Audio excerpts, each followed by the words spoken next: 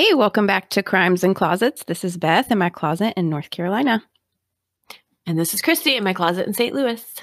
Braving winter storms. That's what we're Oh doing. Yep. It's terrible. We're worst. recording on Friday. My kids are out of school. Yeah, Canceled you school. weather. Mhm. We've got the ice, and the Carolinas don't do the ice. No, no. Just just a um anticipation of ice cancels. Oh, right. That's exactly what happened. Although we did actually get it. So, right. yeah. But I know that there's definitely been times where it's like they call it out and it's like, no, well, it didn't happen, or it didn't happen as bad, or what you know, and like Right. could totally been in school. it's supposed to snow later today. So, we'll see.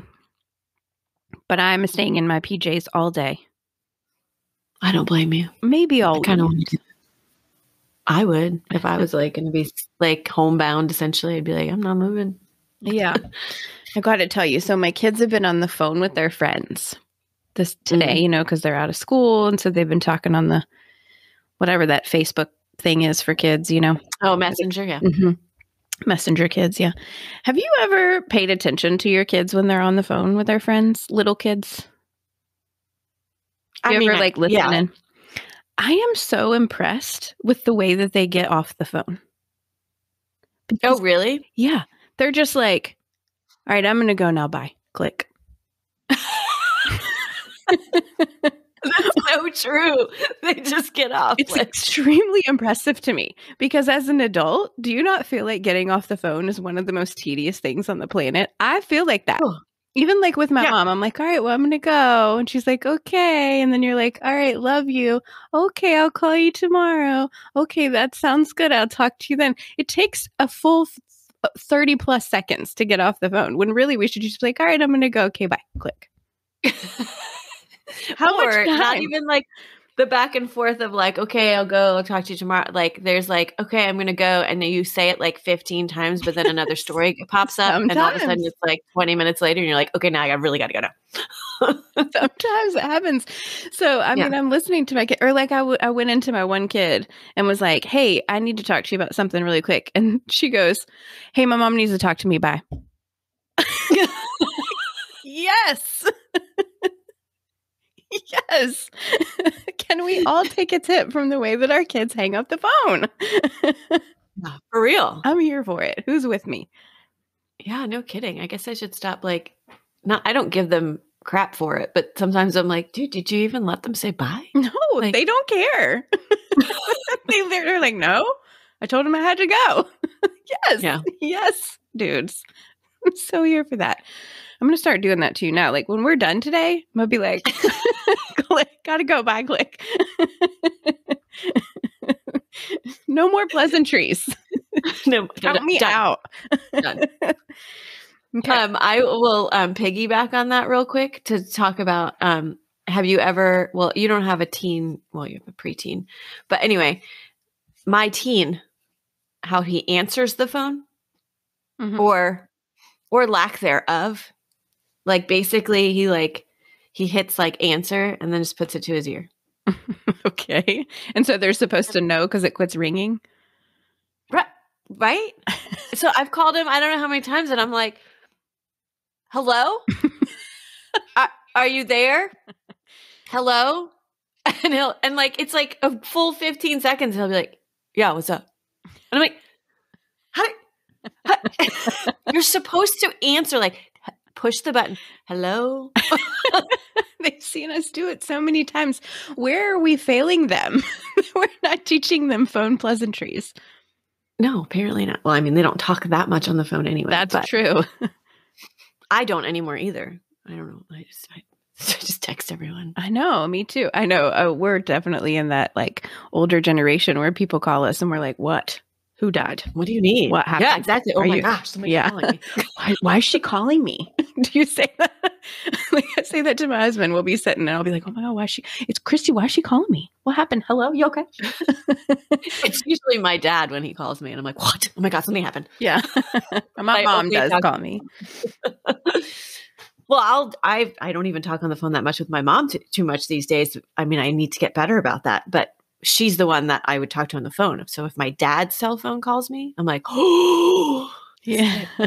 It's getting real. All right.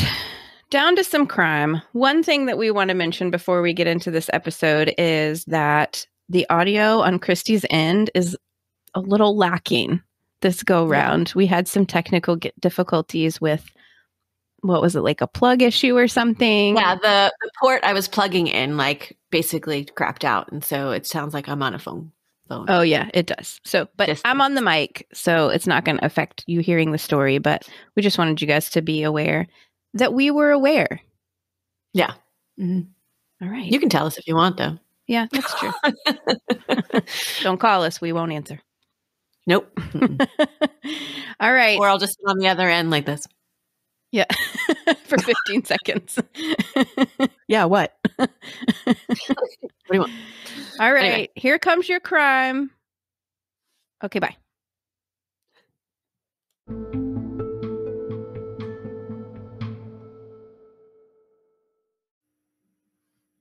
All right, here we are with your crime for this Monday. This one. I'm excited. I don't know why. I'm excited. okay, so this is a listener suggestion from Brenda. Hey, Brenda, thanks for the suggestion, and I think you're going to know it. Maybe not when I say the name, but when I get into it, you're I'm going to see that light bulb. I feel like Okay. ding on in your head. I might be dumb. Yeah, no pressure. This is the story of the McStay family. Okay. So Joseph Bryan McStay was born November 20th, 1969, in Akron, Ohio. He had one brother, and his parents divorced when he was young, and his dad moved to Texas, and his mom moved herself and the two boys to California. Mm. So he was really young when he went to California, and he just completely cut, becomes like a California dude. That's how he mm-hmm. feels like, in my opinion. That's how he is. He's very mm-hmm. laid back. He loves to surf, loves the beach. He has long, mm-hmm. wavy hair, and Hmm. just really nice, typical California guy, like I said. So he got married young and had a son, but that marriage didn't work out. So they separated, and he ran a beach gift shop. That's how it's described. But it looks to me like one of those touristy shops that are on like the boardwalk. Oh, You know, like okay. if you're walking down a boardwalk and you want to go like buy a shirt that says, you know, Outer Banks or whatever. It's like one of those Right. shops that sells those things. But in the early 2000s, he started his own business called Earth Inspired Products. And this business built water fountains, indoor water fountains, the types of water fountains that you see hanging on the wall in like Oh, big hotels or businesses or restaurants. Do you know what I'm talking about? They're everywhere. yeah, I do. I bet. Okay, I didn't. I don't know. I don't know where I thought they came from, but interesting. That Yeah. is this like the biggest one out there, company wise? Well, they were huge, definitely huge. I mean, Mhm. immediately it exploded and became like a multi million dollar company. So, very successful company. And he's even in like, um, like Paul Mitchell Studios and um, like Hershey, the Hershey chocolate factory thing. They're like big name places bought his stuff. Right. Okay. So in 2004, Joseph met a young lady by the name of Summer. Summer was actually born Virginia Lisa Aranda. So I'm not sure where we got Summer, but Yeah, but that's to me also just a strange sounding name, Virginia Lisa. I don't know. It doesn't like flow for me. right, yes. So apparently it did not flow for Summer either. And so she changed it. And she was born December 27th, 1966, in LA County, California. So Summer had also been married before, and that marriage did not work out, but no children. And she's described as loving and passionate. She grew up in California, so she also was very loved the beach, loved to surf, very outdoorsy. She had long, really long dark hair. So they're very similar, these two people. And they meet and they fall in love. And um, Summer was a real estate agent at the time. So after only dating for several months, they learned that Summer was pregnant. And in July of 2005, the couple had a son that they named Gianni. And then in January of 2007, they had a second son that they named Joseph Jr. Okay. So they have two boys very close together. Um, they're very happy. And then in November of 2007, so this is a like the same year that their second son was born, they got married. Okay. So they were not married when they had their kids. They got married later on after the second one. So Joseph's business is doing really well. Summer is taking care of the boys. I think she was a stay-at-home mom after the second one was born, but I don't know. It's not clear. I know she was a real Mhm. estate agent. I don't know if she picked her own hours, worked part-time, or if she was just stay-at-home. Sources are different, but either way, she was like the person who took care of them the most while Joseph ran this business. Joseph had a YouTube channel and he would post like all kinds of videos of the family at the beach, learning to surf, riding bikes, birthday parties, really, really cute. And they had um, two dogs named Bear and Digger that they loved that are in the videos a lot. Did you And the watch boys- any of them? I did. I watched several of them actually. They're still up and they're so cute. And the boys had um, like the long surfer hair too, like their Mhm. dad. Cute. So it's really cute. They seem really happy. Oh, So- oh. well, I'm not, I'm sad that this is a story we're telling. I know. Yeah. In November 2009, the couple bought a house in Fallbrook, California. So, Fallbrook is a town just north of San Diego. Hmm. It was a five bedroom house, beautiful area, and they plan to do some upgrades and like work on it and then sell it and make a profit and then they were going to move to the beach or closer to the beach. That's that was their dream. So, it really seems like they are just doing the dang thing. Like they're living their best life. I don't know if it seems like that. I think they actually were right. Yeah, they were sounds just like it. really happy, really sweet family, super successful. Just everything was working out. Dun dun dun. yeah, yeah, exactly. So that brings us uh, to February of 2010. The McStays had been in their new home for four months and were doing renovations on it, painting it, new countertops, bathroom upgrades. Joseph was 40, Summer was 43, Gianni was four, and Joseph Jr. was three.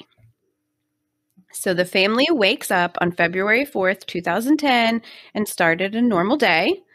Summer spoke to her sister that morning. Her sister had just had a baby. And so she had planned, like, made plans with her to go visit her the next week so that she could meet the new baby. So at some point during the day, we know that Summer and the boys went to a Ross department store and picked up like some things for the house, like a jacket for one of the boys, just, you know, whatever. And then they hung Right. out at home. It was just a normal day for them. Joseph had spoken with his dad that morning. Everything was totally fine. He said he had a lunch meeting with a guy who worked for him named Charles Merritt, who goes by Chase.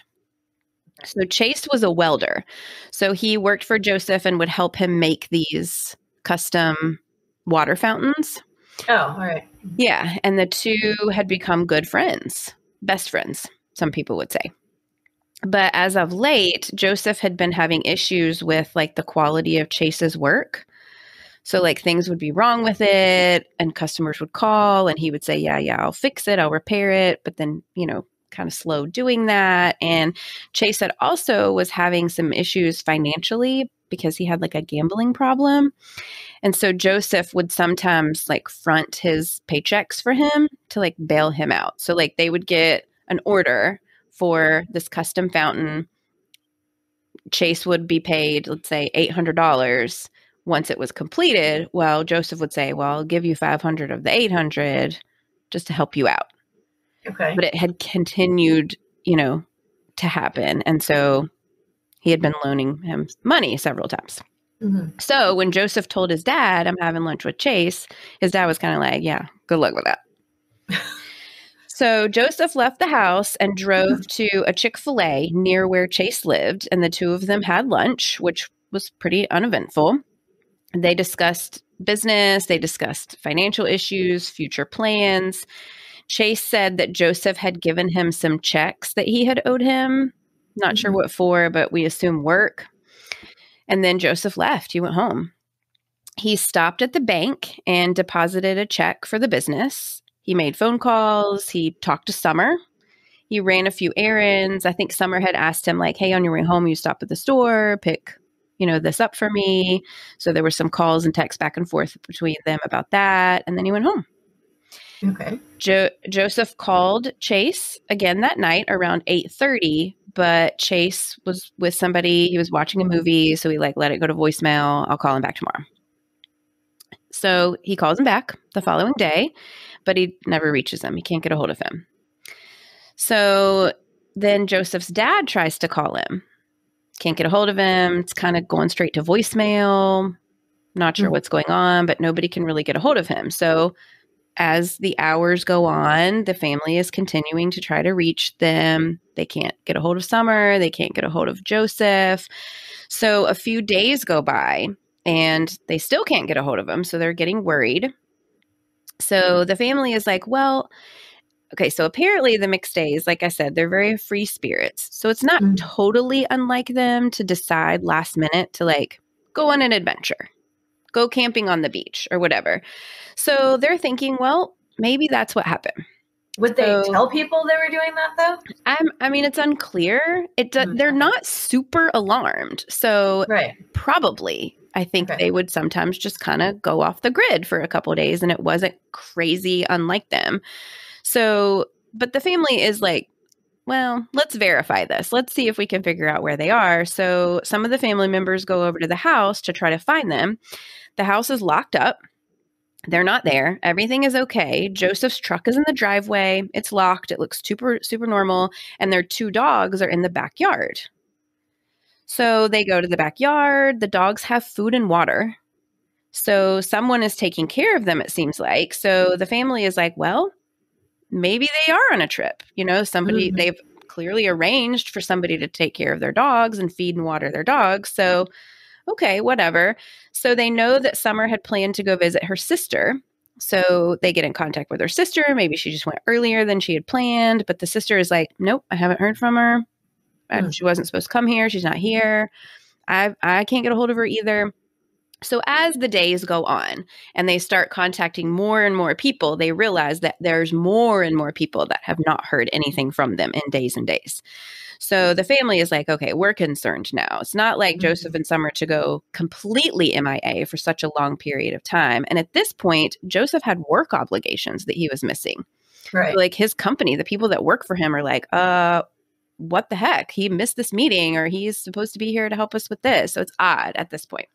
yeah. So on February 13th, Joseph's brother goes back over to the McStay's house and he's like, I'm going in. So he finds an unlocked window and he goes in the house. The house is messy, but it's not messy, odd messy. It's messy like there's two young boys that live here and we've just moved in and we're doing remodeling. That kind of messy. But so nothing super out of the ordinary, but it does seem like they had left in a hurry because there's like eggs on the counter that wouldn't typically have been left out. There are bowls of popcorn, like full bowls of popcorn sitting on the couch that Oh. seems like somebody had just made them, sat down on the couch, and then ended up getting up and leaving. So that was kind of weird. And they also find that like there's a lot of personal belongings there. Like clothes and shoes and coats and medicine, and um, their suitcases were there. Um, Stuff that they would have taken if they had gone yeah. on a trip. Mm-hmm. Right, exactly. So little weird in that regard. And their ca- their other car is gone. So they have an Isuzu Trooper, and it was it's supposed to be in the garage, and it was not in the garage. So that's gone. So some somebody left in the car. Right. So then they discover that no one actually was asked to feed their dogs. A neighbor had called because the dogs had been left out for an extended period of time, and animal control had been coming over and giving the dogs food and water t- until they could find like a temporary placement for them. So they were safe in the backyard. So animal control gets called by someone, I don't know who. And oh. so so now Why? Sorry. yeah. I don't interrupt you. Why would animal control not report that to, like, to someone that they are having to go to this house to feed this these dogs that are not being taken care of? So why wouldn't Good they report it to like the police? You know, like we don't know why they're not. They're, nobody's answering ever when we knock, and we have Right. to go and take care of these for days. I don't know. I mean, I don't know. I don't know. That's a good question. Sorry. Yeah. Yeah, it's it's weird. The whole Yeah. thing is weird. Everything that happens in this case is so weird. Okay. Okay, so now the family is like, okay, something's up. Mhm. They would never leave their dogs like this. This is weird. So Michael, Joseph's brother, calls and reports the family missing. And he says, nobody has seen them since February 4th. That's the last time we know anyone's talked to them. That's the last time we can confirm that anybody has had contact with them. And by what this is it now? time, I'm sorry. it had been 11 days. It was February 15th. So 11 days had passed, almost two weeks. So a long time. Mhm. So the police search the McStay's home and they find the same thing that Michael finds. There's no signs of a struggle. There's no evidence of foul play. There's no forced entry. Nothing is missing. So there was no robbery. So they put on a put out a be on the lookout for their car, that Isuzu Trooper. Mhm. When they put that out, they get a hit and find out that the car had actually been towed on February 8th, four days after the family was last seen. The car had been abandoned in a parking lot near the Mexican border, about 70 miles south of their home. Oh wow. The car was brought in. It was in normal condition, no signs of a struggle, no blood in the car, no foul play, nothing. It was perfectly normal. So, police are like, well, what were they doing at the Mexican border? Right. So, they then get some surveillance from a neighbor's security camera that shows the car, this exact car, this Isuzu Trooper, leaving the McStay's driveway the night of February 4th. But it only shows the back end of the car because it's a neighbor's surveillance camera. So it just shows the back. So it doesn't show who's in the car or who was driving the car or, you know, the passengers of the car. It just shows that it was in the driveway. Then the lights come on and then the car pulls out. Mm. So police also search the, their computers, their personal computers, and they find some searches on Summer's computer for like inquiries about passports, what is required to take children to Mexico, and she had also ordered like Spanish speaking software, like that Rosetta Stone type Mhm. thing, you know, to teach them how to all speak Spanish. So police are like they went to Mexico. The McStays are in Mexico. Like they're clearly doing searches on their computer for this. They up and left, they're gone, and their car was found at the border. Why did they leave their car then?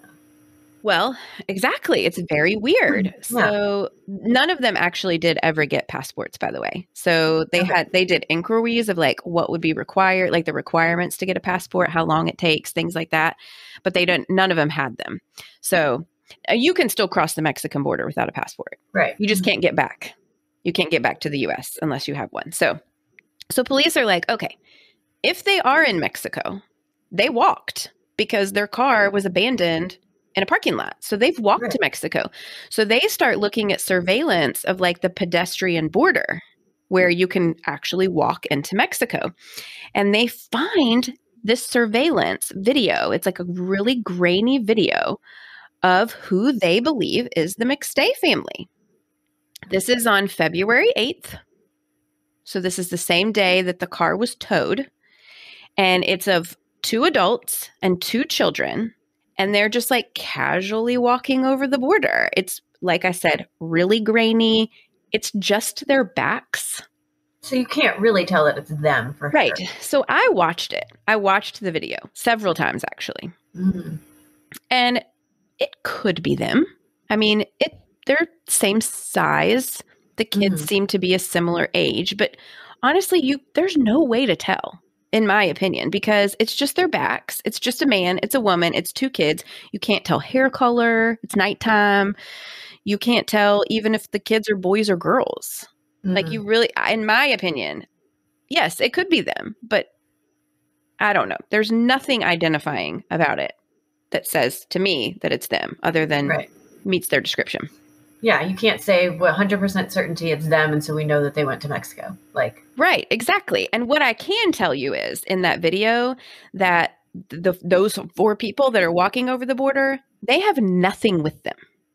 Not a backpack, not any luggage. Even the kids, they're not carrying a stuffy, like a blanket, Mhm. nothing. They literally are just like skipping over the border.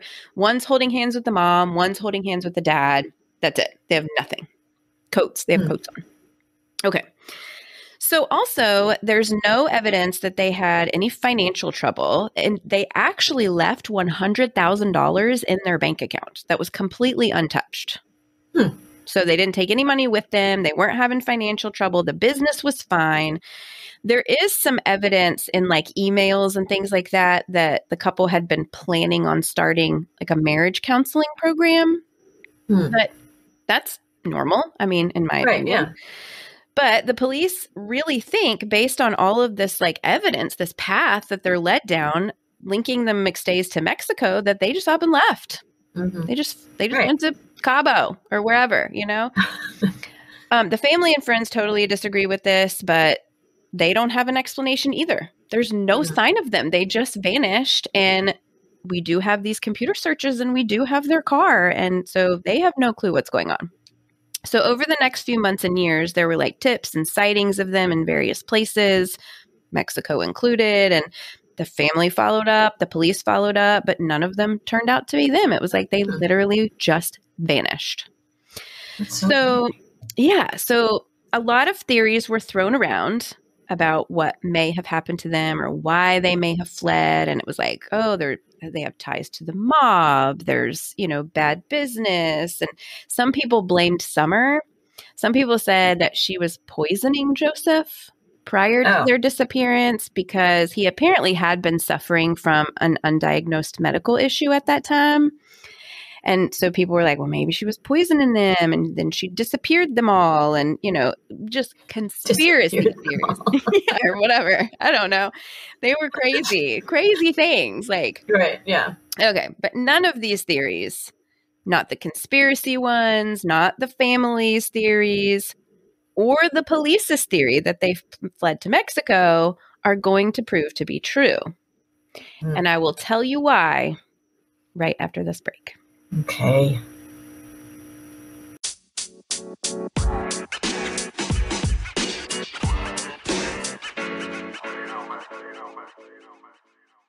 Okay, here we go. Yeah, come on. I want to know what the heck happened. I don't know I this know. case. I will tell you, I do not know it. It's wild. It's huge. Yes. Okay. Mhm. So on November 13th of 2013, Okay. Holy they disappeared in 2010. So three years. hmm Three and a half. A guy riding on a motorcycle trail near in the desert near Victorville, California, finds human remains. So again, this is three and a half years since the McStays had last been seen, and this was about a hundred miles from their Fallbrook home, Okay. Was literally in the desert. Okay. Yeah, it was a 100 miles. The human remains were in two shallow graves. One grave contained a male and a young child. The other one was a smaller adult, so seemingly a female, and another young child.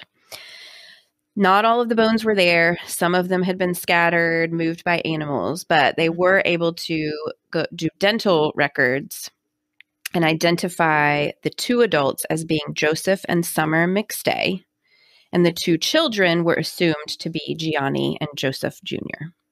Oh my goodness. Okay, all four of them had severe head trauma. Severe.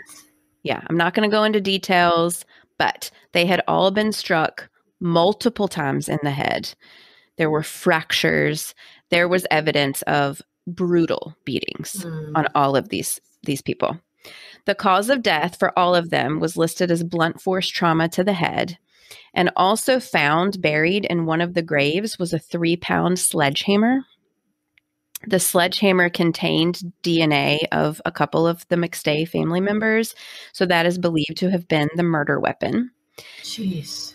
There was also paint spots on the sledgehammer that matched paint from the McStay's home. So it was their sledgehammer. So it was their sledgehammer, they Huh. believe. Also, with the bodies, they found like linens and towels and things like that that were like wrapped around Joseph, and they also matched or were similar to other towels and linens that had been found in the McStay's home. Hmm. So some they're connected to their house at some, you know, in some way. Right. The murder Yeah. weapon is from there. Things that were used to clean up theoretically were from there. Okay, so and it was very clear that they the remains had been there for years. Oh my So they believe that they had been killed back in February of 2010 and this is where they had been that whole time. Hmm.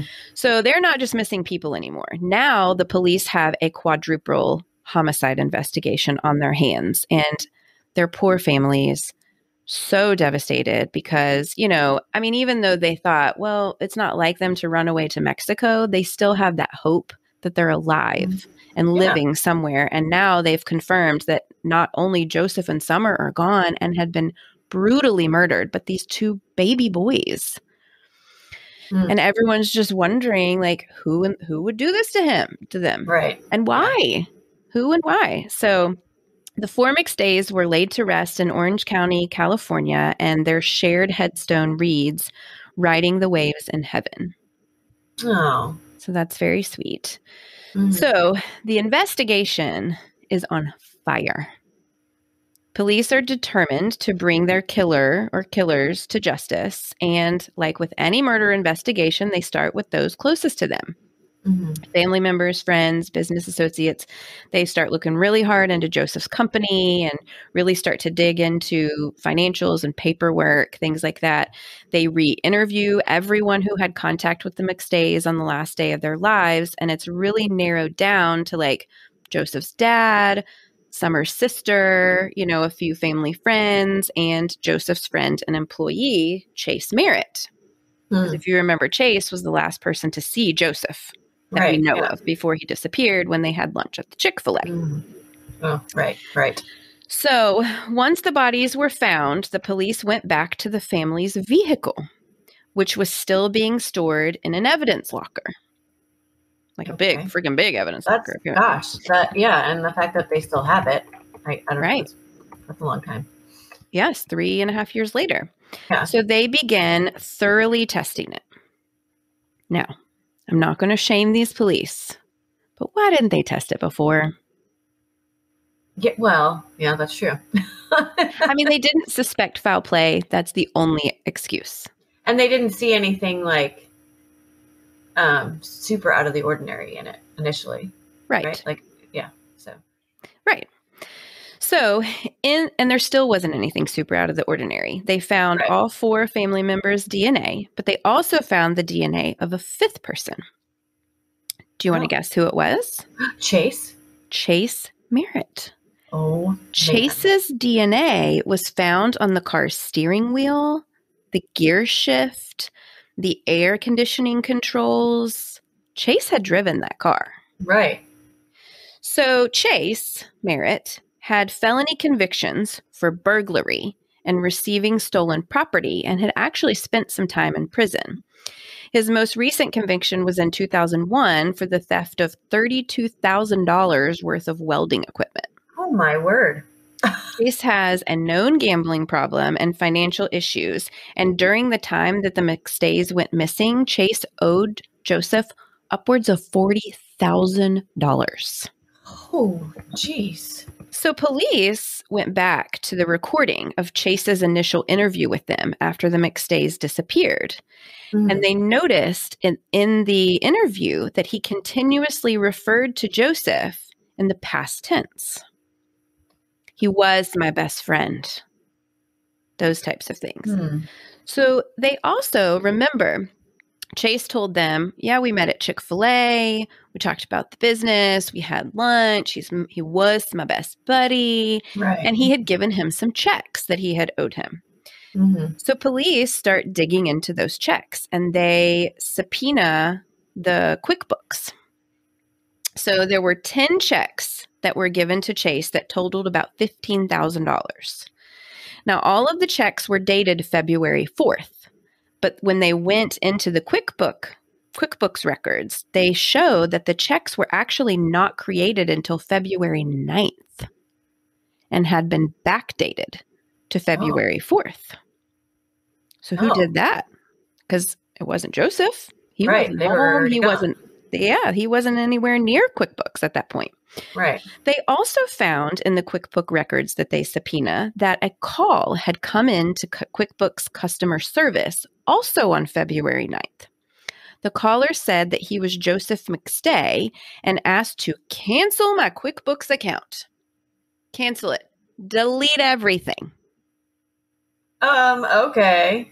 Does Now- QuickBooks actually do that? Well, yes, but the caller did not have the master password, so it was not able to be Oh. done. So that's how it. they were able to still get all of these records. Well, that makes So the- sense. Right. So the police traced this call back to the phone number of Chase Merritt. Oh he on, made Chase. the call. Dude. Investigators also discover that Chase has connections to Victorville, California, where the bodies were found. The desert. Remember, Mm. that's where the. McStay's remains were discovered. His family, apparently, he grew up in the desert, and his family only lived about seven minutes from the exact spot where the McStays were. The other connection that Chase has with that area is that coincidentally, on February 6th, just two days after the McStays went missing, his cell phone pinged in that exact area. Oh, Lord have mercy. Chase did not drink his V8 Mhm, and get right. his mind clear. So Chase is brought in. He denies everything. He denies driving their car. He denies being in the desert. He denies writing the checks, calling QuickBooks, denies it all. However, on February 4th of 2014, Charles Chase Merritt is arrested and charged with four counts of first-degree murder. And he pled not guilty. The trial was live streamed to the public. Oh, whoa. whoa. Interesting. Yeah, you can watch it still. So the prosecution knows that the evidence that they have is mostly circumstantial, but the amount of damning circumstantial evidence is pretty freaking ridiculous, if you ask Mm. me. So the prosecution theorizes that Chase was having serious financial issues, was very in debt to Joseph and the business, and that the meeting at the Chick fil A was possibly Joseph telling Chase, like, you're fired. You're fired. I'm Right, done well, with you. yeah. And you owe me money. You owe me all this money, and I'm coming for it. Right. Coming to collect. And Mhm. if you don't give it to me, I'm going to file charges against you. It's $40,000. Yeah. That's, So- that's not. It's not just like you know a couple thousand. Where I mean, even that would be a lot, but it's not. It's that's a lot of money. Yeah, it's really tough to pay back $40,000. Yeah. Yeah. So the motive was financial. One big roadblock that the prosecution had was that they did not know where the family had been killed. Mm. Because we're talking about beating four people hmm with a sledgehammer. So this is brutal. This is messy. We're right. Yeah. talking Where about is that mess? where exactly where is that mess? There's no indication or evidence of it anywhere in the home. None. So had it been cleaned up? Like That's a pretty thorough clean job. thorough clean job. And then staged to make it look like they had left in a hurry had they been taken somewhere and killed there. I mean there's there was so much evidence lost because if you remember first of all it'd been three and a half years. Hmm second of all it was almost two weeks before they were even reported missing. So anyone could ha- have had access to their home their computers. I mean we know that chase did have access to their home and computers because he wrote the quickbooks checks and you know Mhm. so there's no telling who was in and out what was taken what was moved we just don't know But but did he make the searches about the Mexico? Like, was there he? dates on those searches? there was yes and it was very close to the t- i think it was before though Hmm. I think the searches were done. They weren't done after February 4th. I think they were done before. But like he could, could have done that anyway. They were best buddies. Right.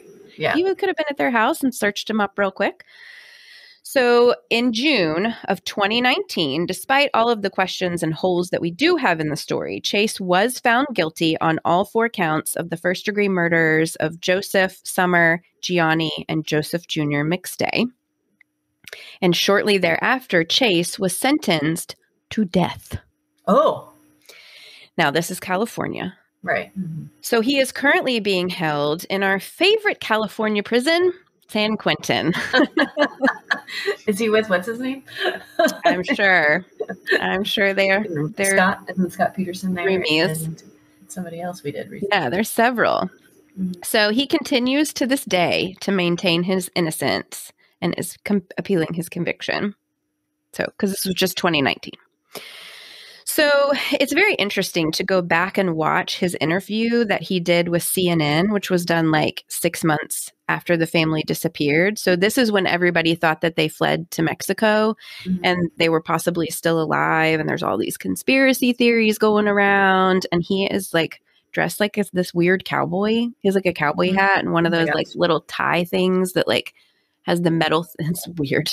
It's just odd. And it's so disgusting also t- the way he acts. Like he acts all worried and torn up and, you know, about the family leaving and where could they go and who, you know, are they happy? And it's just gross. Mhm. So, Yeah. and the whole time knowing that like he brutally murdered this entire family and dumped them in the desert. Like, have fun in San Quentin. Mhm. So, Yeah. one thing that annoys me about this case, and this is a little conspiracy theory of me, I didn't read this anywhere, I just was thinking it the whole entire time, is that I honestly question how Chase did this all by himself. How could know, he it's a family totally- of four. Right. So, any, and the thing is, if you shoot a family of four, you can do that really quick. This Mm. was, they were beat. Right. Each person hit multiple times. That takes Right. a minute. So, yeah. could he have done that alone? Could he have killed all four of them alone, taken their bodies, put them in the car, dumped them in the desert, then taken their car to the border, the Mexican border, and left it? And then what? Called an Uber? Yeah. Right. Yeah. Like, who gave you a ride? Who gave you, who picked you up from the desert? hmm Or who, Yeah. who picked you up from the border? Like, did he do that by? And then goes home, cleans up their house extremely thoroughly, and stages it to look like they left in a hurry. I feel like somebody had to help him, even if they unknowingly helped him. If he called somebody and said, Hey, can you pick me up on the Mexican border tonight? Right. Yeah. And they picked him up and were like, Why were you here? And he was like, I don't know, just gambling. Don't you think maybe somebody would have come forward though once Exactly. he was arrested? Exactly. And they never did. Mm. And he's That's not weird talking because he's saying he's innocent, so Oh, yeah. we're not like getting those answers from him. Exactly. He has no idea what happened to them. So, one last thing that I want to talk about is I read a book on this case. The book is called No Goodbye The Mysterious Disappearance of the McStay Family. It's written by a radio host who had interviewed some of the family members and friends of the McStays while they were uh, missing people. So, Hmm. before they knew that they had been murdered. So, it's published really truly like during all this conspiracy theory they fled to mexico why'd they flee did summer poison him all this kind of crazy stuff and it's just full of those it's full of like these theories and these wild allegations against summer and honestly it, it i really hated it Mm. like it just i think because we know now what happened to them and so now reading the book back it's very like ridiculous and there's so much victim blaming going on and this the the author really disliked summer for some reason and so it's just it's not a good book so Mm. I did like, and it's irrelevant at this point because the whole entire Right. book is about all these conspiracy theories or like, why did they go to Mexico? Why did they flee? Kind of thing. Are they alive? Are they not? What's the evidence one way or the other? And so it's, it's irrelevant because now we know what happened to them. And so the author has actually publicly said that he does not want the book to be sold. So I used it for information like dates, things Mhm. that could were factually proven you know their address things like that but other than that it's not a good repres representation of like this case as a whole because it just ends before we really know what happened to them so i don't know if anybody wants this book but i'm not i don't i don't want it. I'm not going to send it to you because it's just not reflective of the case and how it ended up but if you want it i have it so send me a message. I'm not going to do a giveaway but like the first person who messages me can have the book. I'll mail it to you if, if you want it. Otherwise i'm going to chunk it. All right. Well, and that is the story of the mcstay family murders that I'm shocked I don't know this for some I reason. am Like. I just feel like that was probably like on the news when they had this footage of them crossing the border or supposed footage. You know, I just feel like maybe I just wasn't paying attention back. In Yeah. And don't know. s- there's like so many documentaries on it. And it's Mhm. interesting to watch the documentaries because some of them were done while they were missing. right, And then some of them were done now in recent times after right. The conviction and everything. So, yeah, I don't know. What I do know is this Chase dude is nasty. Yeah, I'm I'm interested in seeing a picture. I want to see a picture of the. Um, He looks totally normal. Oh, yeah, I'll post a picture. um, and I'm also surprised, which that being how big it was. Did you? Did you? uh, There's other podcasts that have done this. I'm assuming. Uh, I didn't look that up, but I'm sure. Oh, because that that would be my other way of like knowing Oh, it. Is if I did look it up actually, you and say I, your favorites did it? yes, one of my ones that they're no no longer around, but they did do a really quick um episode of it. Hmm. But yeah, so there are some, but I didn't look up. I didn't look them all up, so Yeah, I don't yeah. know. Anyway, that's surprising. But anyway, crazy case and so- Crazy. I mean, horrible that these children had to Oh my gosh, go exactly. through this. Yes, so Because little babies. This Four guy didn't want to pay. I mean, if you're that upset, like, I don't know, like, just kill Joseph. Like, why'd you have to kill the entire family? It's ridiculous. it's Uh, mean, so awful Why'd you have to kill anybody? But, uh, I mean, just be like, I can't pay you back. Sorry. I mean, I don't know what Joseph would have done if he had said that. But anyway, I don't know. The whole thing is just crazy to me that yeah, this entire family and and and that it took this long to figure it out because Oh, there that was no proof that they went to Mexico. Like they should have done more. I mean, I'm sure they did what they thought was enough at the time. yeah, I think they truly believe that that's where they were. Right. But the whole entire case was cracked by finding Chase's DNA in the car. That could have been done back in 2010. Like, I'm Right. just saying. Yeah. Yeah. Because then they would have been like, wait, why do you drive the car? And then they would have automatically started looking into him right away. Well, yeah, because, and that's what I was wondering too. I forgot about this part. Um, when you were talking about the QuickBooks stuff, like I just figured that in the beginning, when this guy goes missing, that they would just look into the business and stuff with the business right away to like see, well, maybe there was something there that we didn't know that he had to flee to Mexico for or whatever. And so you would have been looking at the books and this, and they would have even had that and then started thinking, oh, well, Chase called, made this call, so maybe we should look into him more right now. Exactly. There's like little things that they could have done that would have cracked it sooner. Not that he would have talked then, probably either, and maybe they wouldn't have found them any sooner. Right. You know, since he's saying he didn't do it. Yeah, no, I don't think they would have, right, found their remains, but I think they would have had a suspect at the very Right. least. And, you know, yeah, sad. The whole thing is Yeah. really sad. I'm not going to go to Mexico. If I vanish, I'm not in Mexico. I Right. don't care where you find my car. I'm just going to say that right now.